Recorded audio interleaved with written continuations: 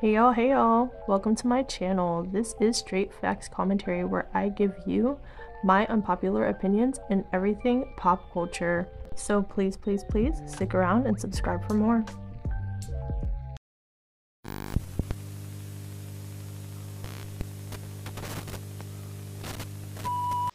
Hey y'all, I am back again with another video. And in today's video, you see the title, you see the title. I'm starting a new little mini series on this channel, okay?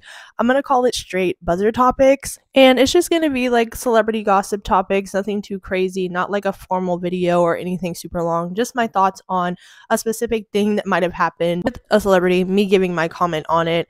Um, there's not gonna be like comments from other people or anything like that, how I normally have. It's just gonna be my thought on that topic topic in a quick little bite sized form, and then I'll move on to the next topic. I don't know how often I'll do this. I'll probably do it every once in a while, or depending upon if you guys like it, if you guys watch the videos or not. It just depends on the reception and it depends on the topics in which there are that I feel like talking about. Because I'm not just going to talk about everything and anything. I have to be interested in it if I'm going to comment on it. Okay, so without further ado, let's go ahead and get into the topics that I picked for this video. One of the first things I wanted to talk about was Rihanna. She just posed for a photo shoot for Vogue. She looks absolutely amazing. I just thought it was very interesting and random because I was like, oh, Rihanna just randomly be popping out because, you know, she did that performance for those people. I think it was in India, if I'm not mistaken. And then now she's doing this Vogue photo shoot. You know, Rihanna be out here and there, this and that. She looks amazing.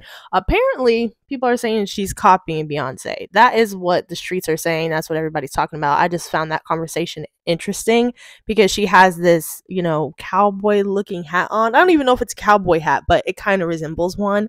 People are also saying that in regards to Nicki Minaj too, because apparently Nicki Minaj was on tour and she had a cowboy hat on in one of her sets or during, you know, one of the portions of the performance. And I was just like, I was like, wow, okay.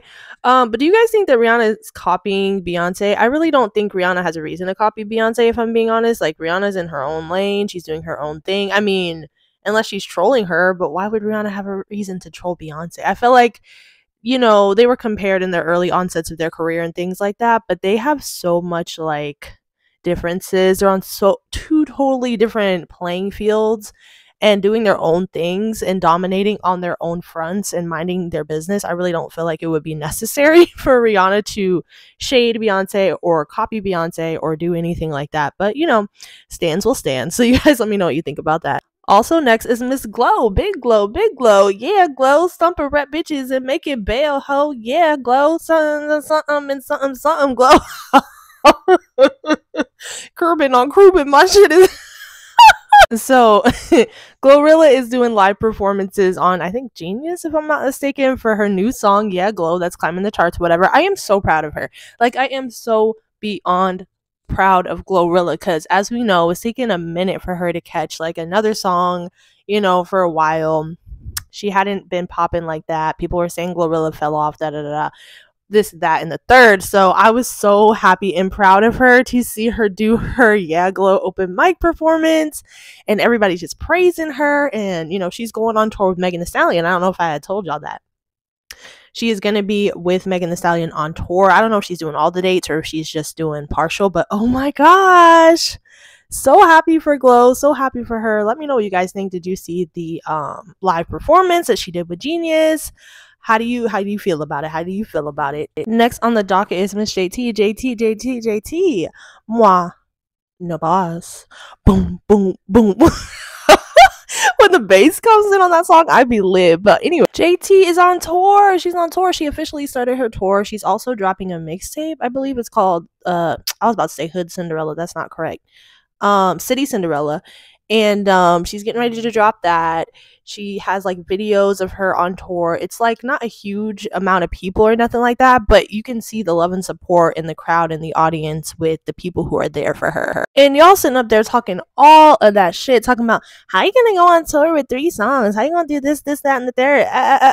What? leave JT alone. Like, and people aren't saying that now. All I see in regards to JT on the internet is praise everybody is saying, "Oh, look at JT! Oh, that's so cool!" Da da da da. People see how lit it is. People are seeing the support that she gets, and they're changing their tune. Nobody is saying nothing negative about her being on tour now. That's how you know. Like a lot of the time, the internet just be blabbing, just be talking, just to talk. because ever since, you know, she started the tour, people aren't saying nothing negative. It's only positive stuff. So it's like you got to tune shit out a lot of the time and just do what you're going to do. And I love this for JT. I'm so excited for her. I'm so happy about the reception. I, I was a little bit worried when she first announced the tour, to be honest. I thought nobody was going to show up because of the fact that, you know, she doesn't have a lot of a lot of songs and because of the negative response that she got online when she announced that she was going on tour. it made it seem like nobody was going to show up. You know what I'm saying? I'm thinking, well, damn, I'm a little nervous for her. But no, that was all bullshit because people are there and people are supporting her and people are going to continue to go, especially after she drops her project. So, you know, anyway, that just pissed me off. But I'm so happy for her. And I'm glad that she's out here building her fan base and starting from the bottom and working her way up. Like, we all have to start from somewhere. It's like, I think about that when it comes to my channel, too. I'm so sorry. I'm leaving that in. Sorry. I didn't mean to cough in y'all ear. I did that the other day too. My throat has been congested as hell. Uh, like I don't know what's going on, but anyway, um, so I liken that with my YouTube channel too. Like you have to start from somewhere. I don't have a lot of subscribers. I don't. In comparison to other people who make content, uh, who have like large followings and stuff like that. I don't have, but you have to start from somewhere. You got to work your way from the bottom to the top. You're not just gonna skyrocket to the top you know, and if you do, you end up falling harder than you got up there. You know what I'm saying? You got to take your time and build, and and I appreciate JT for doing that for real. Flo Milli, the Millie shit. And like how I write it, hop on the, I make him get excited, especially uh, for lame niggas. Uh, I got some pain in it, and then, and then, yeah. Why did I sing that song to introduce Flo Milli? Like, isn't her latest song um Never Lose Me? Let me start over. Bitch, you never be me. And I like, oh wait, that's Cardi's verse. Hold on. Oh wait, no, wait. How does it go? He's beat on Hannah my coochie. He touching Emilio Pucci. Doing good. Bitch, I'm Gucci. To Asia, he feeding me sushi. When I'm, uh, you feel like a, da, da, da, yeah. Anyway, so Flo Milli, she had an interview or whatever, and she was speaking on her collaboration for Never Lose Me with SZA and Cardi B. So I have that here. First, I hit up SZA because, like, you know, SZA has always shown me love. Like, I really love SZA. We exchanged numbers, and then yeah, it just came kind of natural. So Cardi had reached out. I was like, what? Like, I literally was in my bed, and when they called me, I was like, what? That's crazy. It feels amazing. It's just like a full circle moment for me because I've been working so hard, being like a pandemic artist, like coming out at such a like crazy time. It's given me the time to like learn about myself and get more creative and just experience more to be able to make better art. Love that for her. Love that for her. I love that Flo is coming up in the world. I love Flo Like I, I told y'all a while ago, I've been listening to her since like 2019 and I love her so much. And I'm so glad that she got the SZA collab, the Cardi collab. That's going to help her in her career in terms of like, you know, she's getting bigger features, you know, whereas before, you know, a couple years ago, people weren't working with Flo like that. Like bigger artists were not working with her or acknowledging her that much, to be honest with you. Um, and that's how it is. I feel like in the game, it's like you have to get a couple of hits, you have to get some experience, and then bigger artists will pay more attention to you. You know what I'm saying?